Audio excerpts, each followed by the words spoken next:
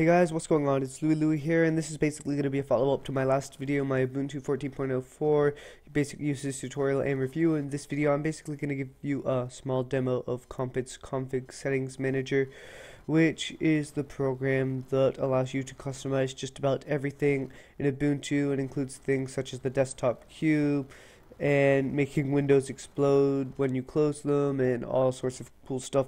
Now to install this program you simply want to open up a terminal and let me find the command. It's this one.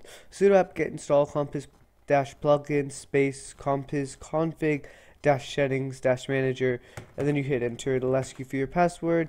And um, I got an error for some reason but I've already installed it so that doesn't matter.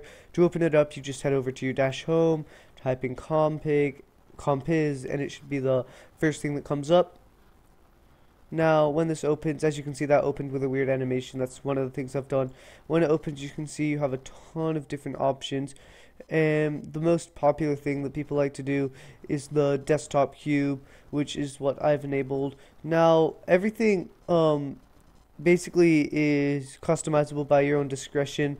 Some of the stuff, such as the desktop cube, is kind of harder to set up, and there are tutorials online on how to do it. But basically, the desktop cube, this is what it looks like. Can do tons of stuff with it. It's basically just another version. The desktop wall is the original one, um, which is what I showed you last video, which kind of looked like this.